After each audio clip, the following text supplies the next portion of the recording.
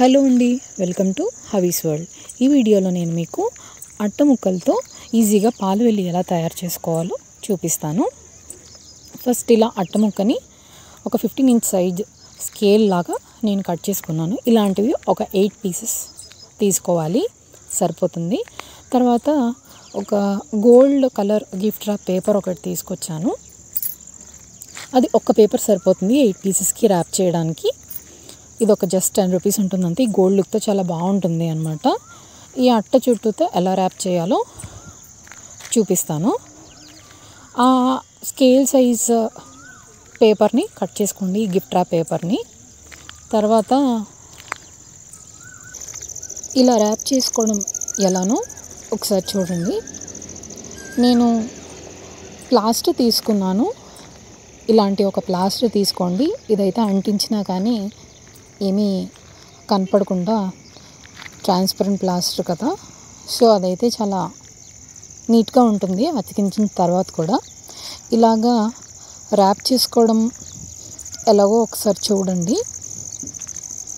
దీన్ని ఫస్ట్ ఒక ఫోల్డ్ తీసుకొని ఆ ఫోల్డ్కి ఈ ప్లాస్టర్ ఆల్రెడీ ముందే కట్ చేసుకొని పక్కన ఉంచుకున్నాను. ఇది ఒకళ్ళమే అయినా ఈజీగా చేసేయచ్చు అనమాట ఎవరి హెల్ప్ లేకపోయినా సరేను.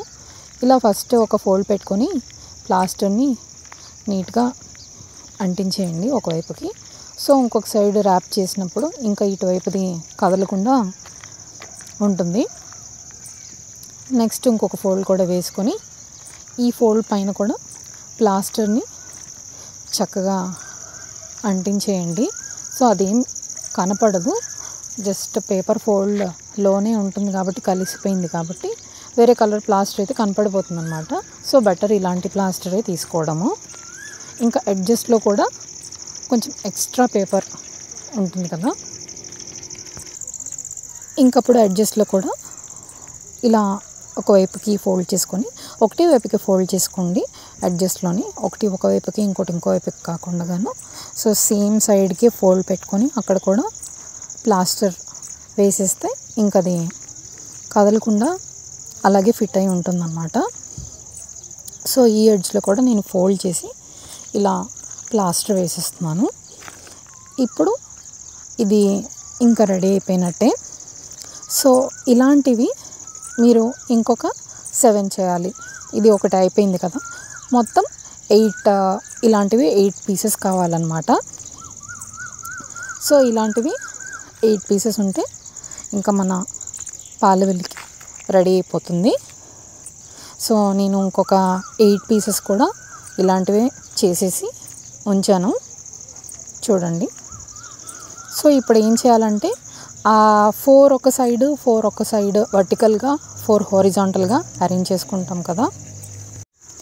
అలా మీరు ఈ గ్యాప్స్ని కరెక్ట్గా అడ్జస్ట్ చేసుకొని ఫస్ట్ ఇలా ఫోర్ నిలువుగా ఫోర్ అడ్డంగా ఈ స్కేల్స్ని పెట్టి ముందే సరిగా చూసుకోండి. సో వంకర్లు ఏమీ పోకుండా ఎగ్జాక్ట్గా ఇలా చూపిస్తున్నట్టుగా ముందే అరేంజ్ చేసుకొని చూడండి.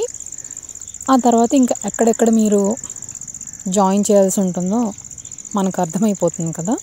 సో ఇప్పుడు నేను ఏం చేశానంటే ఈ మధ్యలో మధ్యలో వర్టికల్ అండ్ హారిజాంటల్గా ఉన్న దగ్గర ఎక్కడైతే జాయిన్ చేయాల్సి ఉంటుందో ఆ ప్లేసెస్లో నేను కొంచెం ఫెవిక్విక్ తీసుకున్నాను. దానిని పెట్టి ఆ జాయింట్స్లోని ఇంకా అటాచ్ చేయడానికి ఇదిగోండి ఇక్కడ ఆ పాయింట్స్ ఒక వర్టికల్ దానికి హారిజాంటల్ దానికి మధ్యలో. ఇప్పుడు ఒక ఫెవిక్విక్ తీసుకోండి. అరేంజ్ చేసుకున్న వాటి మధ్యలో ఇలా ఫెవిక్విక్ వేసి అతికించేసాను అయిపోయిన తర్వాత ఒకసారి చూడండి దాని స్టిఫ్నెస్ తెలుస్తుంది మనకి. సో ఫెవిక్విక్ మాత్రమే సరిపోలేదు. ఇప్పుడు నేను ఏం చేశానంటే సేమ్ ప్లాస్టర్ని తీసుకొని ప్లాస్టర్ని తీసుకొని అన్ని కార్నర్స్లోనూ ఎక్కడెక్కడ అవసరం అవుతుంది అని అంటే చూసి ఆ కార్నర్స్ అన్నింటిలోనూ ఇంకా వేసి కంప్లీట్గా స్టిఫ్గా ఉండేలాగా అటాచ్ చేసేసాను. ఇంకప్పుడు ఎలా మూవ్ చేసినా కానీ అది కదలకుండా చక్కగా ఉందన్నమాట మన పాలు వెళ్ళి.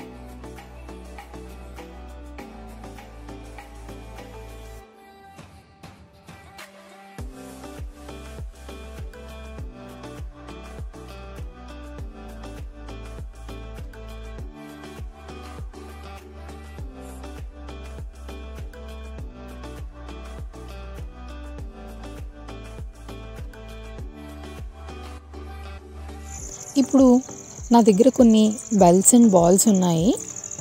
సో ఈ పాలవిల్లి అట్టది కనుక మనం ఎలాంటి హెవీగా ఉన్నవి కట్టలేము.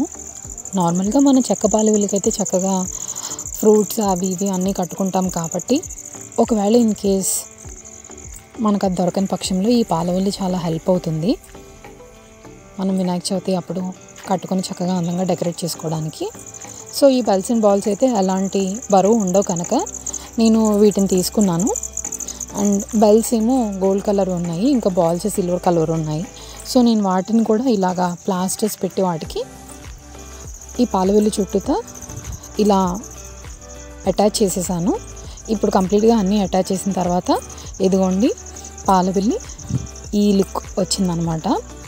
ఫైనలీ ఇప్పుడు ఇది ఇలా అన్నీ జాయిన్ చేశాక ఇక్కడ వరకు రెడీ అయింది. నెక్స్ట్ ఏం చేయాలంటే దీన్ని మనం వేలాడేయాలి కదా హ్యాంగ్ చేయాలి కాబట్టి. దీనికి ఇప్పుడు మధ్యలో ఉన్న స్క్వేర్ ఉంది చూడండి దాని కార్నర్స్ చుట్టూతో ఒక థ్రెడ్ కట్టుకుంటే దానిని హ్యాంగ్ చేయడానికి ఉంటుంది. సో నేను ఏం చేశానంటే దారాన్ని తీసుకొని దాన్ని ఇలా ఫోర్ కార్నర్స్ చుట్టూతా ముందు టై చేశాను. ఆ తర్వాత ఆ ఫోర్ కార్నర్స్ని తీసుకొని ఇలా మధ్యలో ముడి వేశాను. సో మీకు ఇప్పుడు మన పాలవెల్లి రెడీగా ఉంది హ్యాంగ్ చేసుకోవడానికి ఇంకా. ఎంత హైట్ కావాలంటే అంత హైట్ దారం ఉంచుకొని. సో మనకి కావాల్సిన దాన్ని బట్టి ఆ థ్రెడ్ లెంత్ ఉంచుకోవాలన్నమాట. అంతే పాలవెల్లి రెడీ అయిపోయింది. ఇంకా చెక్క పాలవెల్లులు అందుబాటులో లేని వాళ్ళు చక్కగా ఇలాంటి పాలవెల్లిని చేసుకొని హ్యాపీగా గణేష్ చతుర్థిని చేసుకోవచ్చు. ఈ వీడియో కనుక మీకు నచ్చినట్లయితే లైక్ చేయండి షేర్ చేయండి. సబ్స్క్రైబ్ చేయండి థ్యాంక్ యూ